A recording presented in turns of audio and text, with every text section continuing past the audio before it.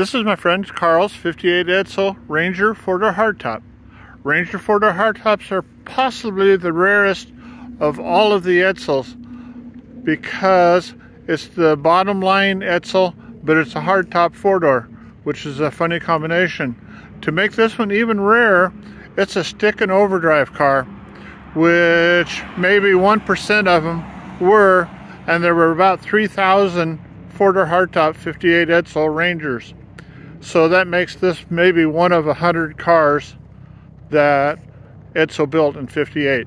It has a 361 motor and three-speed and overdrive with a 389 axle.